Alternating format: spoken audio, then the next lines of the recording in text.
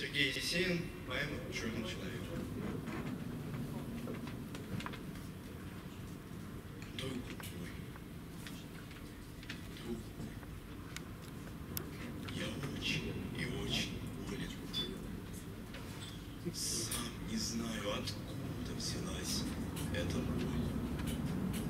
То ли ветер свистит над пустым и безлюдным полем, только грощу в сентябрь осыпает мозги алкоголь.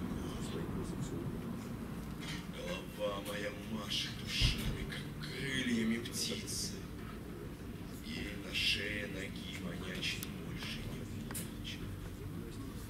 Черный человек, черный, черный, черный человек на кровать ко мне садится. Черный человек спать не дает мне всю ночь.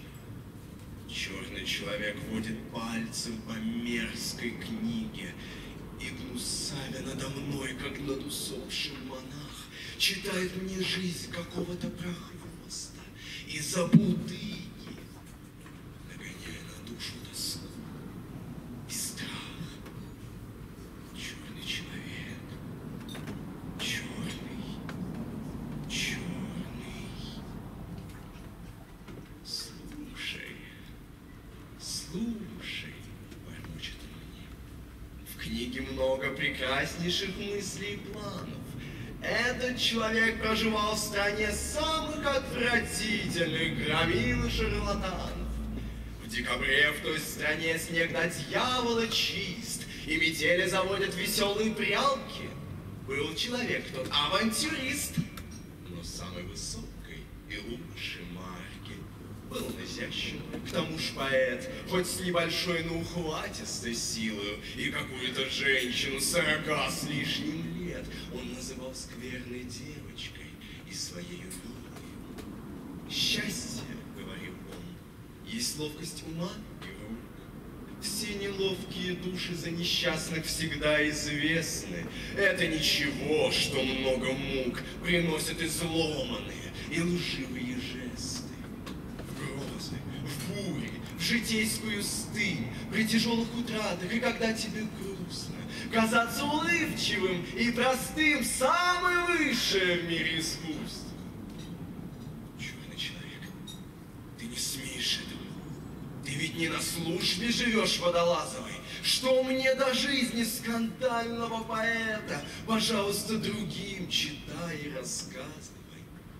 Черный глядит на меня в упор, и глаза покрываются голубой блевотой, словно хочет сказать мне, что я жулик. И вор, так бесстыдно и нагло обокравший кого-то. Друг мой, друг мой, я очень и очень болен. Сам не знаю, откуда взялась эта боль. То ли ветер свистит над пустым и безлюдным полем, только грощу в сентябрь осыпает мозги алкоголь. Ночь морозная, тих водой перекрестка. Один у окошка, ни гостя, ни друга не жду. Вся равнина покрыта сыпучей мягкой звездой, и деревья, как всадники, съехались в нашем саду. Где-то плачет ночная зловещая птица. Деревянные всадники сеют какую-то листу. Вот опять этот черный на кровать ко мне садится, приподняв свой цилиндр и откинув небрежно сюртук. Слушай, слушай, хрипит он, смотря мне в лицо, сам все ближе и ближе клонится. Я не видел, чтоб кто-нибудь из-под лицов так ненужно и глупо страдал бессонницей. Ах, положим, ошибся. Ведь нынче луна, что же нужно еще напоенному дремой мирику? Может, с толстыми ляжками тайно придет она, и ты будешь читать свою дохлую, томную лирику. Ах, люблю я поэтов, забавный народ.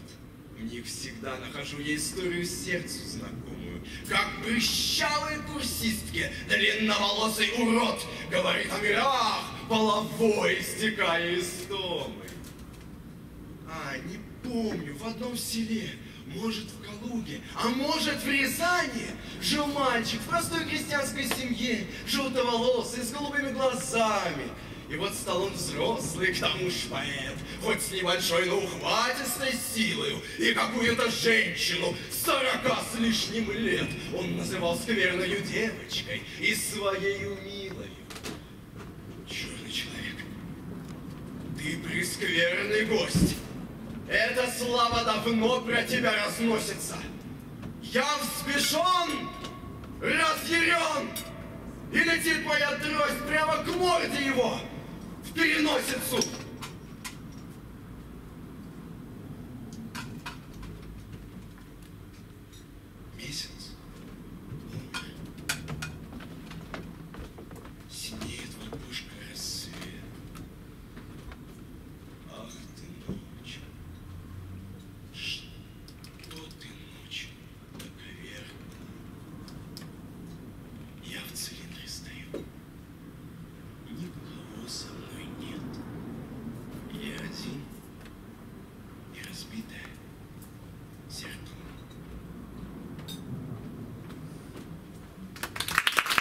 Ivan.